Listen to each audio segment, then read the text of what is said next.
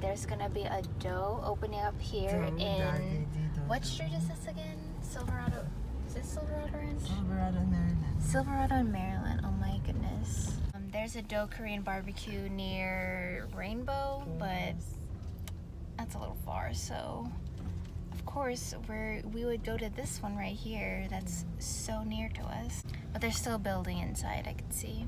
I wonder what else they're gonna open up. Are you? you Yes, I'm recording. Do you see Are you recording your face? Oh, it's my mom. Oh my gosh, yes. Summer, I've been really into Filipino teleseries, and tonight is the series finale for one of the shows. Oh my gosh, I'm so oily. One of the shows I've been watching, and it's gonna be, it's gonna be a lot. My mom and I were watching Maalala. Maala ala Mukaya. And I was thinking if I had my story told through that show, who would play me? Margo. Who would play my mom? Oh my I'll god. show no. no, no, no, no, no. Insert picture here. Oh my god. Now we're gonna watch um, Sino ang May Sala. Um.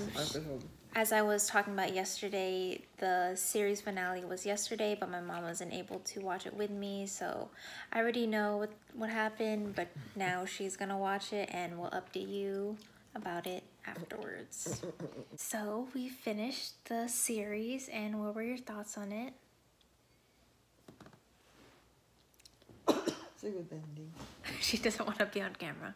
But if you haven't seen the show, it's basically about these five friends and they're all lawyers, but they're they're caught up in this crime where they ran over this um this lady's body and then she was carrying a baby and then they take care of the baby, but then the mom was looking for the baby and like five years or six years later they're all caught up in this mess and then we watched all the downfall and now the show is done and the show was only on for a couple months um, compared to other teleseries that are like on for like three years like Ang Probinsyano. We just get to see an inside look of the justice system in the Philippines. Would you say it's comparable to the one in the United States?